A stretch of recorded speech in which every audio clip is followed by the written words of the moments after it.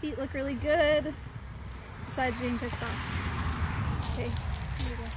But it's in frame. Okay, say bye to Owl. Wait, do you want to name it? Name it before. Fred. Okay, you got it.